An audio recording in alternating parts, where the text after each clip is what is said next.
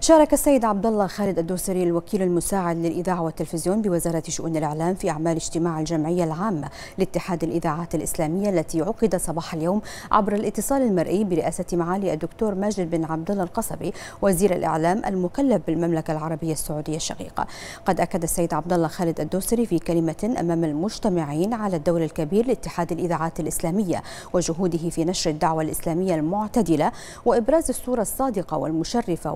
والحقيقة للأمة الإسلامية التي تعتبر ضمن أهداف الاتحاد وموجهة كافة أشكال الحملات العدائية المشوهة للإسلام والمسلمين. مشيدا بالخطوات التي اتخذها المجلس التنفيذي في أعماله والخطط والاستراتيجيات والمبادرات التي تم إدراجها والتي ستسهم في تعزيز الإنتاجية واستفادة الدول الأعضاء من خدمته أبدى الدوسري تأييده لترشيح الإعلامي الدكتور عمرو الليثي مرشح جمهورية مصر العربية الشقيقة لتولي منصب رئيس اتحاد إذاعات الدول الإسلامية ومشيدا بما يمتلكه الليثي من خبرة كبيرة في المجال الصحفي والإعلامي وكفاءة وقدرة وقدرته على تطوير دور الاتحاد وعلى قيادة العمل خلال الفترة المقبلة إلى جانب الكفاءات المبدعة والمخلصة والتي يسخر بها اتحاد الإذاعات الإسلامية. وقد أكد معالي الدكتور ماجد بن عبد الله القصبي في كلمته بهذه المناسبة على أهمية العمل الإعلامي الإسلامي المشترك الذي يواجه تحديات كبيرة في ظل التحولات